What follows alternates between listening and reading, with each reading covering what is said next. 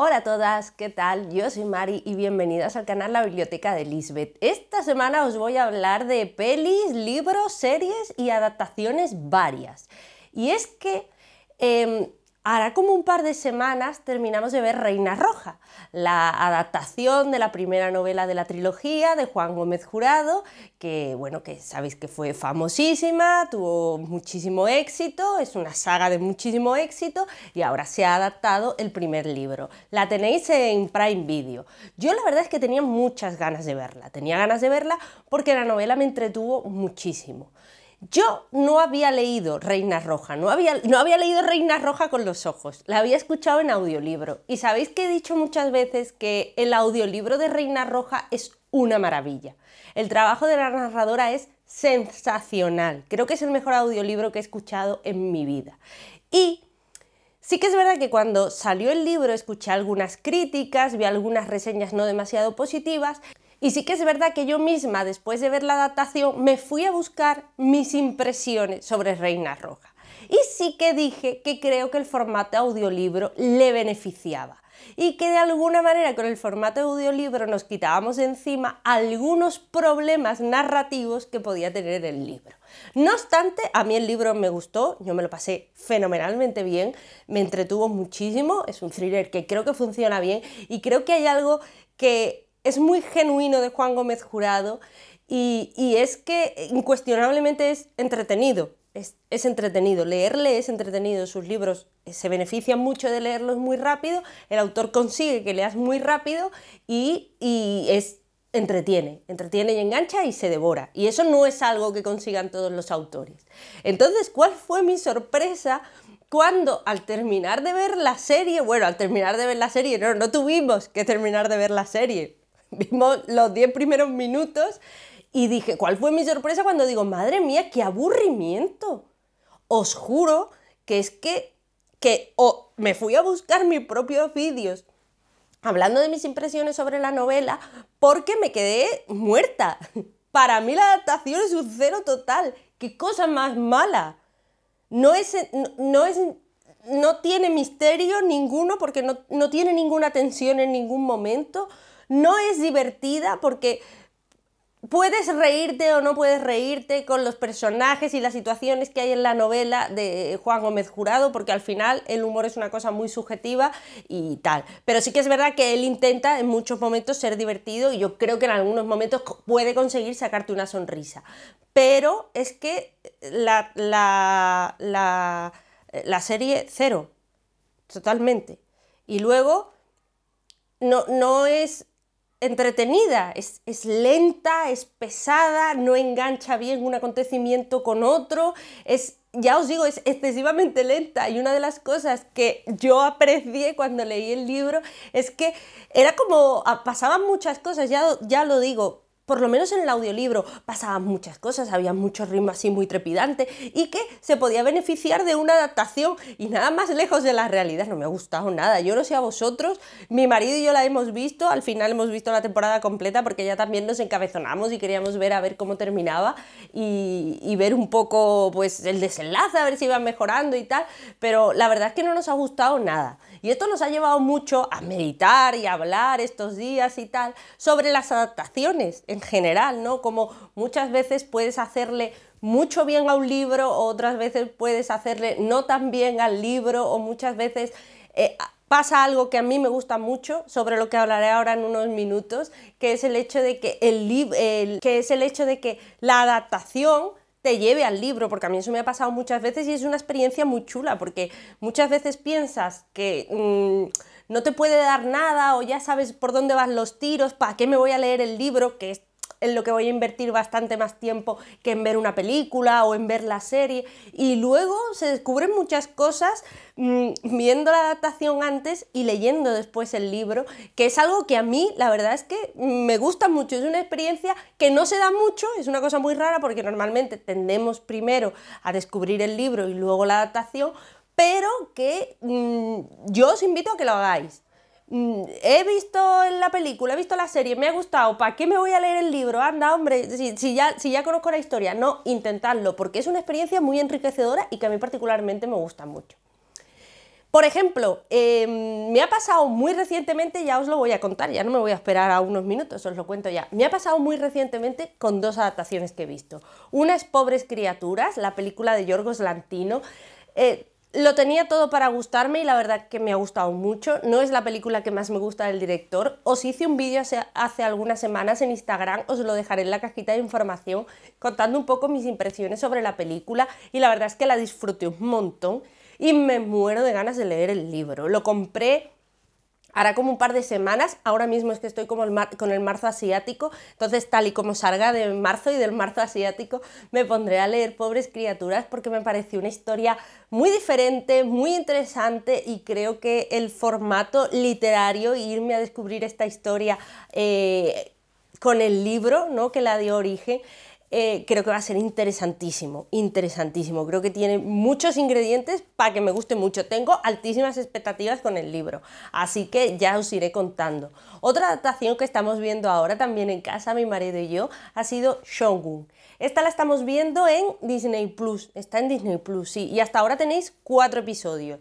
Va a ser una miniserie. Yo mm, desconocía que había un libro que hablara de esto, mi marido la puso, uy, mira, Japón, tal, año 1600, la lucha de un lord por mm, mantener su vida, luego los ingleses que llegan con el barco a Japón. Vamos a verla, que esto tiene buena pinta. Nos está encantando. No entiendo cómo todo el mundo no está hablando de esta serie porque es que está muy bien hecha, es muy, muy, muy interesante. Nos vamos a ir eso al, al 1600, a Japón, y vamos a seguir a un que forma parte de un consejo de regentes, bueno, y ahí empieza a haber lío y tal, y su vida se ve amenazada. A la par que esto, pues llega un barco británico a una de las costas y lo apresa el ejército japonés y tenemos a un personaje que es un marinero británico que se meterá dentro de la vida del pueblo y trabar amistad con el lord y ya es todos los tejemanejes que hay allí en plan pues eso, eh, yo te mato, tú me matas, esto, lo otro, intrigas de palacio, es, así un poco eh, una especie de juego de tronos, podemos decir, pero sin dragones y en Japón.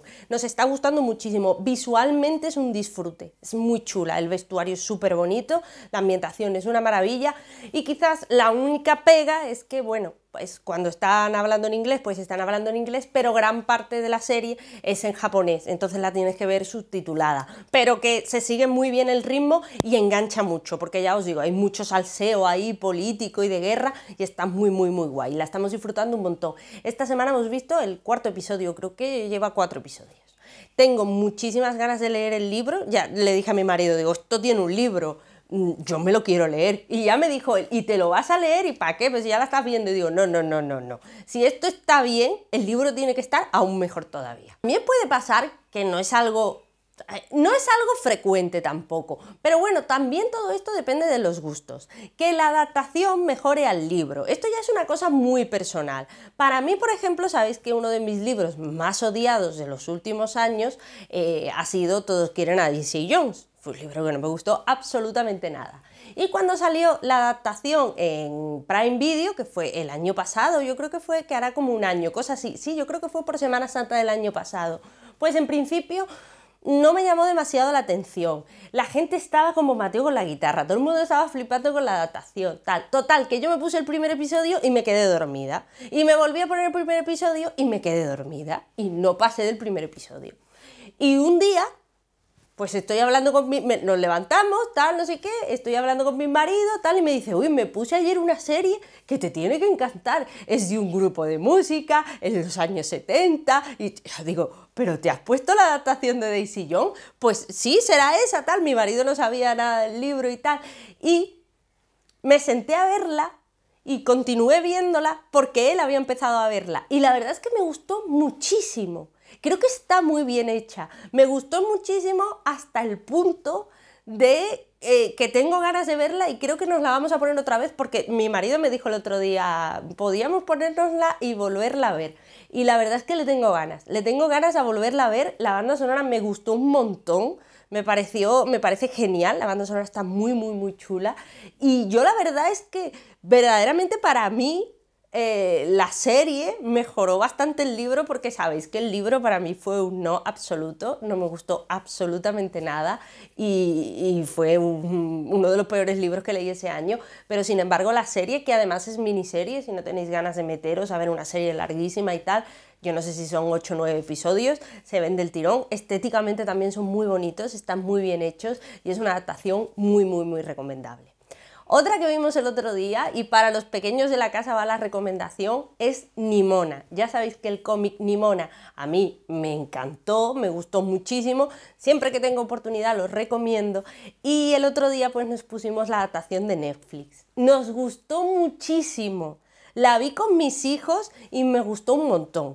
Aviso aquí porque es una adaptación de Netflix y ya sabéis un poco cómo es Netflix con las adaptaciones. No es que sea súper fiel al cómic, está más bien inspirado en lo que es el cómic, pero está muy chula. Yo creo que transmite muy bien esos valores que pretende transmitir el cómic, eh, esa historia de diversidad que pretende transmitir el cómic y es también muy tierna y muy divertida. Nosotros nos reímos muchísimo, de verdad, ponérsela a los niños en casa porque os lo vais a pasar de maravilla ha estado nominada al Oscar a la mejor película de animación y desde luego yo con las que había visto, es verdad que no he visto a la ganadora del Oscar de este año, eso tengo que decir, pero mm, del, quitando a la que ha ganado, que era la que no habíamos visto, de las demás para mí era la mejor.